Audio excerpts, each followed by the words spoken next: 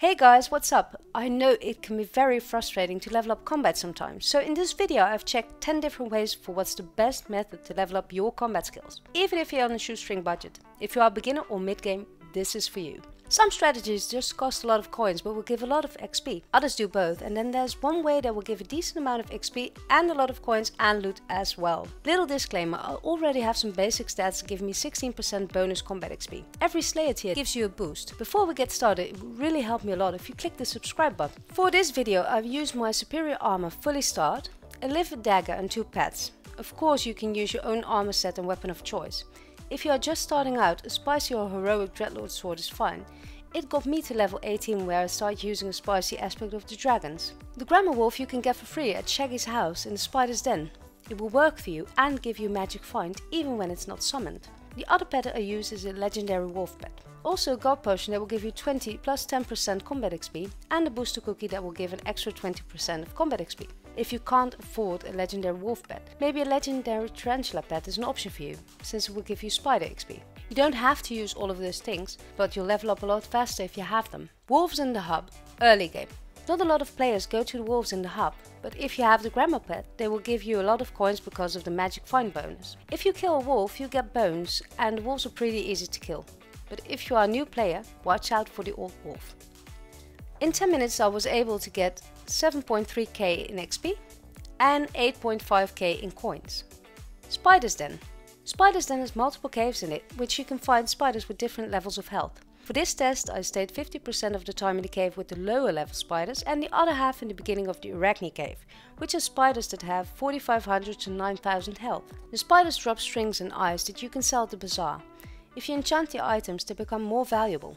In early game, stay at the beginning of the cave and just shoot the spiders with the Dreadlord sword, so you won't get killed in the first minutes. In 10 minutes I was able to get 16.3k in XP, 4300 in eyes and strings, and in coins I got 21.3k, giving a total of 25.6k in coins. Zombies in the crypt. This is where the ghouls spawn. If you are just starting out, just shoot them with your Dreadlord sword. In close combat you will receive too much damage and you won't be able to survive for long. The ghouls drop Revenant flesh, which isn't worth much. In early game it can be challenging to kill the ghouls, but the zombies give a fair amount of XP as well. In 10 minutes I was able to get 23.4k in XP and 23.9k in coins. The end.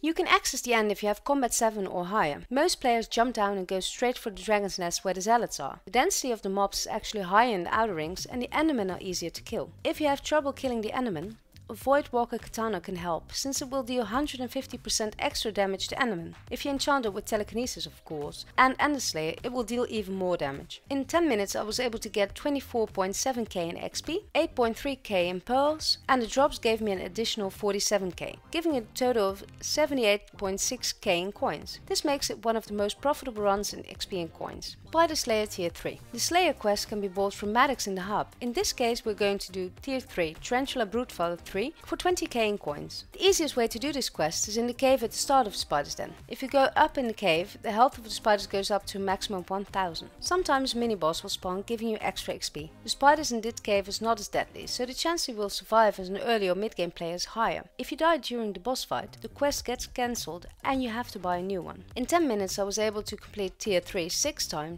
costing a total of 120k in coins. In 10 minutes I was able to get 11.4k in XP, in strings and eyes I got 41.5k and in drops I got 37k in coins, giving it a total of minus 39.8k in coins. Sven Slayer Tier 3 The Sven Packmaster quest can be bought from Maddox in the hub after you've completed level 3. You'll be rewarded with Maddox Bat Phone that lets you start quests from your own hotbar.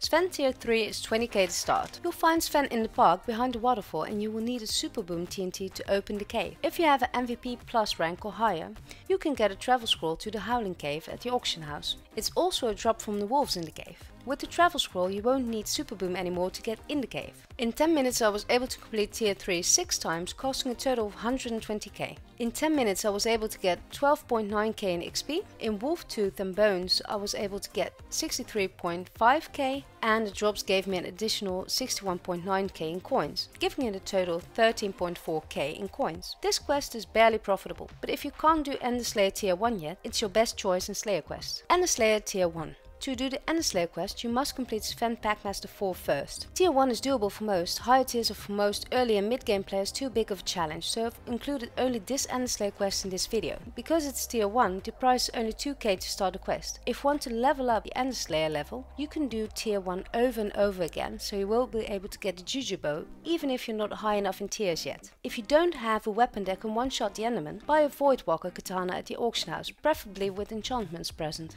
Do the quests in the outer ring so you won't be attacked by the mobs in the dragon's nest. In 10 minutes I was able to complete tier 1 5 times, costing a total of 10k in coins. In 10 minutes I was able to get 16.1k in XP, 5.3k in pearls, and the additional drops got me 13.8k in coins as well, giving it a total of 23.6k in coins. This quest is the most profitable and gives the highest XP if you don't have the luxury to spend a lot of coins. Zombie Revenant Horror Tier 3 we go back to the crypt in the hub for our next Slayer quest, the Revenant Horror Tier 3. This quest costs 20k to start. If you have trouble staying alive during this quest, you can try using Reaper Falchion if you've reached Zombie Slayer level 3. This sword is not great in general, but it will deal 200% extra damage to zombies, and you will receive 20% less damage from zombies when held. If you are not level 3 yet, the Revenant Falchion gives 150% extra damage to zombies as well. The mini bosses that spawn will give you a greater deal of combat XP, although they sometimes spawn really fast after each other. In 10 minutes I was able to complete tier 3 10 times, costing a total of 200k in coins.